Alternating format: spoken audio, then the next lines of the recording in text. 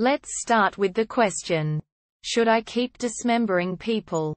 In Nioh. after an enemy dies, but before they fall to the ground and lose their physics, you are able to keep hitting them, which will lop off their limbs. Usually this is just the head and arms, but I believe it's possible to cut people in half, as well. Is there any benefit or penalty for doing this? It's hard to tell if there are extra drops or anything. Because there's an obscene shower of blood and sparkles whenever enemies die. Even more so when you dismember them. So how can we solve this? There's one possible answer. Answer 1. Dismemberment has no actual gameplay benefits or penalties, it's simply aesthetic.